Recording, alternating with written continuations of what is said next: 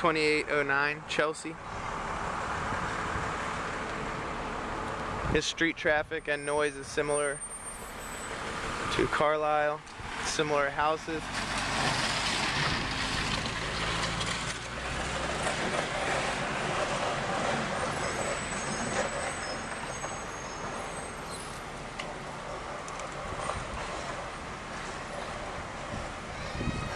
Doesn't have the lot size that we have.